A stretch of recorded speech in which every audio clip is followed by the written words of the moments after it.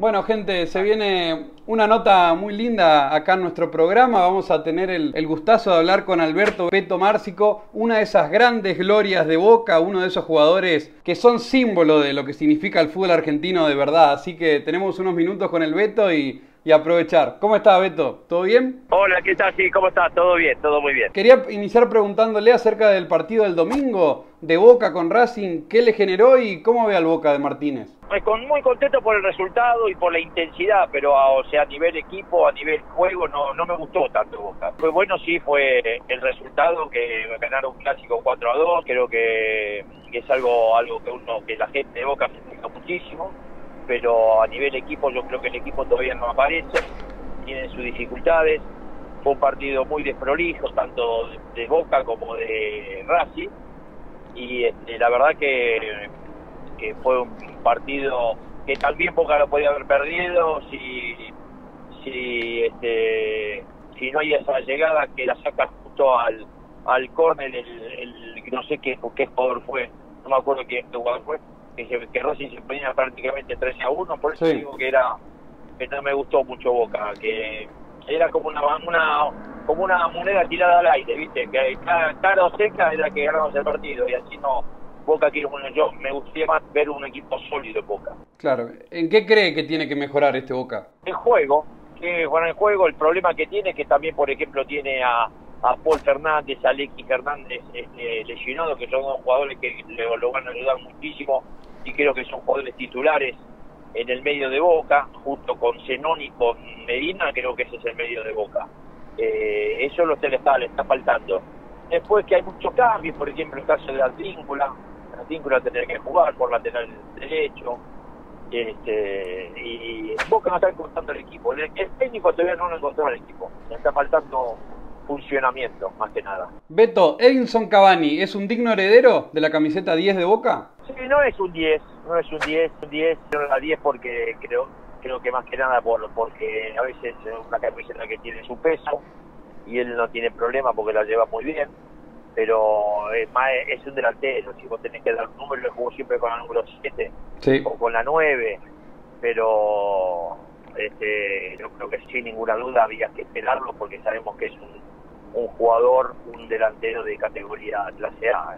Sabía que en cualquier momento aparecía. Justamente dice que es un delantero de clase A y Riquelme cuando, cuando Cavani llegó a Boca planteó la cuestión de que, de que era el mejor extranjero que jugó en la historia del fútbol argentino. Y se planteaba ese debate con Francescoli. ¿Cómo lo ve a eso? Lo que pasa es que lo de Francescoli no tenía, eh, Francescoli en ese entonces no tenía eh, un recorrido en Europa. Acá tenemos a, a Cavani que acaba de cumplir 37 años con prácticamente toda su carrera en Europa y en equipos importantísimos como se fue al Palermo, después fue al Paris Saint Germain, después fue al, al Manchester, fue del Napoli, o sea, jugador con un recorrido importantísimo. Yo creo que ahí tiene razón Román en decir eso. O sea, a partir de, en el momento que llega, cree que es el mejor extranjero que llegó al fútbol argentino. Sí, sobre todo, ¿sabes por qué? Por la actualidad, porque acá es un país con todas las dificultades que tiene económicas, eh, sociales, de seguridad, todo, todo el mundo se quiere ir, Cavani hace el, camino al revés, vuelve. Está bien que está sobre el final de su carrera, pero también hay que ver el contexto en el que que hacer y sí, sin ninguna duda que no sé si hubo otro extranjero de esta categoría que volvió al fútbol, al fútbol argentino, yo no creo que no, habrá sido, por ejemplo, quizás al fútbol argentino estaba hablando, ¿eh? porque si vos te pones el, el año pasado, Suárez fue a jugar al Nacional, también es un regreso importantísimo para el fútbol uruguayo. Pero acá en Argentina, una duda que debe estar entre los mejores eh, este extranjero que viene, a, a jugar el fútbol argentino. Beto, ¿cómo es hoy en día tu relación con Boca? Estoy en la cancha, eh, saludo al muchacho, o sea, al, a Román, a su hermano, este, eh, al consejo de fútbol, pero no no pasa más de eso, más de ir a la cancha, seguir siendo siempre simpática de hincha fanático de Boca y, y, analizar, porque tengo la radio, que estoy en radio gráfica, todos los lunes de, de una 23 y estoy a 24 Boca en Boca, también analizando dos, dos programas de, de, boquenses completamente. Así que esa, eso, eso es lo, que estoy así, así con Boca. ¿Te gustaría ser parte del Consejo de Fútbol algún día? No, no, no, eso no, no, no, eso no. La verdad que no, no, no, apunto a, a, trabajar en el Consejo de Fútbol por el por ahora. Este, la relación que tengo es la que comenté, no, tampoco estoy muy interesado hoy en trabajar en el fútbol, honestamente. Y del 1 al 10, ¿qué puntaje le pondría a la gestión de Riquelme? ¿Esa primer presidencia con Ameal, ahora como presidente? ¿Qué le parece? Yo le pondría entre 7.50 y 8. Bien, ¿por qué? Si hubiese ganado la Copa, si hubiese, si hubiese ganado la Copa Libertadores le pondría un 9, 9 y medio. Pero sí, las cosas están saliendo, están haciendo bien. Lo que pasa es que Boca, ¿sabes qué pasa con Boca? Que Boca cuando vas a comprar un jugador, te voy a, te voy a dar un, un, ejemplo, Garro. Sí. Garro cuando lo fue a buscar eh, Román, que quería Garro y a Sosa, que están en Talleres, ahora Sosa se quedó en Talleres le pidió por Garro, le pidió este, 11 millones de dólares y lo terminó vendiendo al Corinthians en 5 millones. Ahora vos ponés a pensar, ¿por qué a Boca 11 y al Corinthians 5? Si seguramente hicieron 5 millones, Boca lo pagaba para tener un jugador de esa categoría que le hace falta a Boca, ¿eh? porque es un enganche. Este, entonces se hace difícil a veces, ¿viste? A veces lo culpan a, Román o al Consejo y hay que meterse en la a veces de los muchachos que que ya no pueden hacer nada a veces. Pero ¿por qué, por qué tardaron tanto en, en arreglar el, que el contrato de por vamos a poner barco? Claro. Y bueno, tardaron tanto porque quizás este, también a Barco le, le interesaba que tarden tanto para que pueda después negociar de mejor manera como lo hizo. Más allá creo que tuvo un comportamiento con boca correcto, le dejó 10 millones cuando quizás no, se podría haber llegado tranquilamente sin dejarle nada a boca. Claro. Pero son, son este, son negociaciones muy difíciles y aparte uno a veces toca de, sitio oído, ¿viste? Lo que escuchamos nosotros por, por, la, por las redes sociales o por, por el, los periodistas. Pero en realidad, en realidad, la, verdadera, la verdadera verdad no sabemos porque eso la sabe nada más que los, los protagonistas. Respecto a lo de Barco, a esa situación que se dio, ¿Cree que los clubes terminan siendo un poco rehenes de los representantes en ese tipo de casos? No, que son rehenes, no, rehenes no, porque también eh, hay que tener un, hay que tener un agradecimiento hacia el club también más allá de rehenes. Se puede decir que pueden manejar y tratar de cuál es el, objetivo de todos los representantes, es ganar el dinero, gran parte de dinero, la mayor parte de dinero para él, porque el jugador va a seguir jugando. El jugador va a seguir, y si las cosas no salen bien con un representante, cambia de representante y agarra otro. Entonces tratan de, de, de, negociar la mejor parte, la mejor pasada para ellos, y a partir de ahí, en el mejor momento, lo más relevante posible, y ahí a partir de ahí este, las cosas no se pueden dar, eh, poder elegir que bueno, eh, que los representantes manejen un poquito a los, jugadores. Sí, pero que decirle siempre es jugadores, siempre decirle fútbol. Claro. Beto, nombraba la, la, final de la Copa Libertadores contra Fluminense. Usted, como, como una gloria de boca, ¿cómo vivió ese partido? No, creo que Boca no lo atacó de la mejor manera. No lo atacó de la, mejor manera. Este, igualmente había que, ver un poquito que, esa, cuando vos vas a hacer este, local en tu estadio, ahora se cambiaron para la próxima. No, tendría que haber cambiado la sede porque es la cancha de, de Fluminense. Tenía mucha ventaja. Y tenés, quieras, quieras o no, es tu casa, es tu ventaja, es como si ella jugar la bombonera. Y si Boca juega en la bombonera, seguramente hubiese sido muy diferente. Eh, más allá que tengas el público en la mitad del estadio a favor, pero es tu casa, tu de la cancha, los vestuarios y todo eso. Eso, te digo que no es que estás llegando al partido, que, que al estadio y lo conozca, pero sí que es una ventaja, es una ventaja.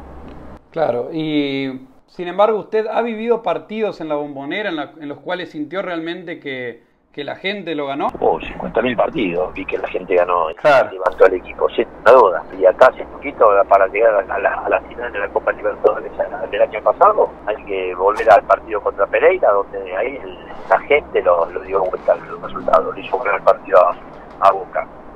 El aliento y todo eso es terrible buenísimo, es excelente. ¿Cuál es el primer partido que se le viene a la cabeza cuando le nombran Boca, Beto? De Boca, y me viene el partido contra River, en cancha de...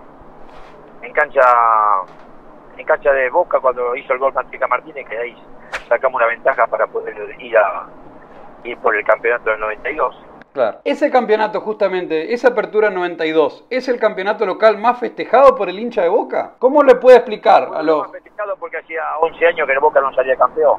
Uno de los más festejados, sin ninguna duda. O sea, al menos lo que escuchás siempre es siempre es eso. Eh, cuando estás 11 años sin salir campeón y vas a ser un vez que va, el espejo va a ser terrible el primero. Después, si ganas cada dos años, las cosas son diferentes, pero después de lo que pasó por ese campeonato.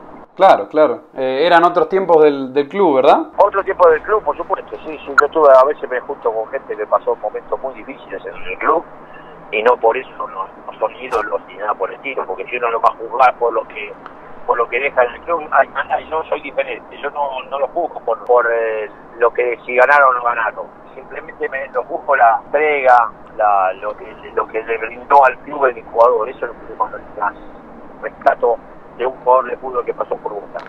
Porque hoy en día se da una cuestión muy danina para el club, ¿no? Que es que parece que si no se gana la Copa Libertadores, nada sirve. Hoy en día se mal acostumbró al hincha, ¿no? Sí, sí, sí, pero eso, eso fue hace...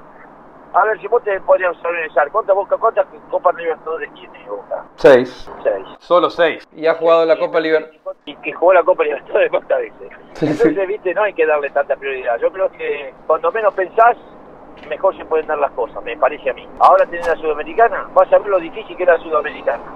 Es tan difícil como la Copa Libertadores. No la primer grupo, porque te- tenés este, equipos que son desconocidos y a veces pueden dejar de Venezuela. Este, este, pero, pero vas a ver que a medida que van pasando las rondas y se te hace difícil, ¿eh? se te hace muy difícil. Mira, Liverpool no jugó en la Champions y está jugando la, la, La Europa League. Europa League, la Europa League y, la juega con todos los jugadores y desesperados por poder ganarla. Entonces acá va a pasar lo mismo, ¿eh? A medida que vayan pasando los partidos vas a ver que la gente de Boca se va a enganchar y se va a enganchar de- como una Copa Libertadores. Claro. ¿La mayor locura que hiciste por Boca? No, cuando tenía era hincha, 17 años, que lo fui a ver a, a Uruguay sin plata, con una cédula de identidad solamente, o sea, volví a los tres días y bueno, me, me- la verdad que me estaba preocupado, perdí el trabajo, perdí la vida del colegio, pero esas son cosas que era la primera Copa Libertadores. Final del 70 y- 77, ¿verdad? Copa Libertadores. 77, ¿sí? Así es. 77 Montevideo, contra Cruzeiro. Beto, una personal que como anécdota realmente me, me genera mucha curiosidad. ¿Era adicto a la Coca-Cola usted? En su momento sí, estaba, estaba la verdad que... ¿Cómo era eso? Eh, y tomaba, tomaba mucho Coca-Cola, tomaba, eh, me encantaba la Coca-Cola y entonces estaba en una adicción importante con la Coca. Y bueno, pero después la, después la tuve que dejar porque me tomaba casi 6, 7 litros por día. ¿En qué época? ¿En qué época? En la época de Ferro, en la época de Ferro, fue la época del 81, 82, por ahí. Después cuando fue a Europa tuvo que dejar. Eh, Cuando llegué a Europa sí tuve que dejarla, tuve que dejar la Coca-Cola porque no me estaba haciendo bien y aparte tampoco, ahora hay Coca-Cola, tenés Coca-Cola seco, pero no, la dejé, la dejé. ¿Es verdad que es tan cero la Coca-Cola hoy en día? ¿Puede o es como la otra nomás? ¿Cómo no? Sí, se puede tranquilamente, ¿no? Sí. Se puede tranquilamente, muy diferente. Hoy te podés tomar, eh, antes te tomabas 3 4 vasos y echaba la panza como loco. Hoy no, hoy te tomas una botella y la, tenés. Eh, Estás, estás, estás tranquilo. Beto, le consulto un mini, mini juego. De lo que vos viste, ¿cómo, ¿cómo armarías un once histórico de Boca? ¿Te tocó como hincha antes de ser jugador, como jugador después? ¿Cómo armarías un once histórico? Y a mí me gustaba mucho, no te voy a dar un equipo, pero te voy a hacer eh, el equipo del Toto Lorenzo del 77. Ese es un equipo terrible. Terrible. Gatti, Ternía, Pancho Sá, Mouso, Tarantini. ¿El mejor equipo que vio de Boca? Yo el mejor equipo que vi de Boca fue ese, sí. el más duro, con jugadores de, de categoría, jugadores, un primero con un técnico ganador como era el Toto Lorenzo, y después porque tenía un, equipo, un, un, eh, todos jugadores de todos este, de, de edad, con una categoría terrible, y aparte excelente jugador. Y fíjate, fue campeón del mundo, dos veces campeón de América, Así es. este, terrible, terrible. Ese fue el mejor equipo de Boca que vi. ¿Qué es lo primero que se le viene a la cabeza cuando le nombran a Diego Maradona? A Diego no, a Diego me dio pena la última etapa. La última etapa que lo, lo vi muy de- muy deteriorado, sobre todo en la- cuando salió a la cancha de gimnasia, el día de su cumpleaños, creo. Eso fue, no fue. Me da mucha pena lo que le pasó a Diego. Después como jugador creo que fue sin ninguna duda. Y no tengo duda que fue el mejor jugador de la historia de, de lo que vi yo, fue de lo que de lo mejor que vi. Yo, para mí, él y, y Platini estaban en otro nivel que no estaban otro, ningún jugador, este, ningún, ningún jugador de esa época. Compartió con, con Diego en la selección, en ese camino también rumbo a México 86 y luego en la vuelta en Boca. ¿Qué, ¿En qué destacaba cada Maradona? ¿Qué tenía como factor positivo, como factor futbolístico cada Maradona? ¿Qué Todo tenía positivo, era, era, era muy positivo, era- siempre peleaba para el equipo, para los jugadores, de todo. Siempre, siempre fue un, un luchador que siempre dio la cara por, por, el equipo, por, los, por los jugadores. Eh, era un tipo con una persona que vos te podías apoyar tranquilamente porque sabía que, que te ibas a, a sentir respaldado, no solamente en la cancha, sino fuera de la cancha también. Ayudó a muchísima gente, Diego. Y ese rato que compartieron en Boca, ese, ese tiempo cuando él volvió y usted ya, ya había sido campeón con el club, ¿cómo fue? No, sí, sí, ya fue la, una última etapa, una etapa del 95, fue la última etapa de mía en Boca y la, también la casi Boca estaba Diego sobre el final de su carrera también, así que no fue una etapa importante, más allá que perdemos un campeonato increíble con ese equipo. En el 95, ¿verdad? Sí, 95. Sí. Beto, le agradezco mucho por el tiempo, permítame hacerle la última. Bueno. Bien, eh, aquel, ¿qué le diría este Alberto Beto Márcico a ese a ese chico que, que inició de, de, grande su camino en Ferro, que se decidió realmente por ir por el fútbol cuando ya, ya era una edad avanzada, pero que, que, tenía muchos sueños, ¿no? ¿Qué le diría a aquel Beto que empezaba en el fútbol profesional? No, felicitarlo porque la verdad después de de haber estudiado, haber trabajado, todo, tuvo la, la posibilidad a los 20 años, casi, casi sobre el final, de sobre casi en, momentos difíciles para que un jugador pueda ser fichado, lo ficharon por algo, lo, por algo lo ficharon y felicitarlo, porque hizo una carrera extraordinaria donde en Toulouse dicen que es el mejor jugador de la historia, en Ferro dice que es el mejor jugador de la historia, en Boca está entre los 20 mejores jugadores de la historia, o sea, la verdad que estoy muy feliz, muy feliz, la verdad lo, lo felicitaría. Impecable cierre, Beto. Permítame a mí también felicitarlo por su carrera y por todo. Muchísimas gracias. De nada, ¿eh? un abrazo muy grande. Un saludo para todo Reconquista. ¿eh? Abrazo muy grande, Beto. Que ande todo bien. Chao, muchas gracias. Chao, chao.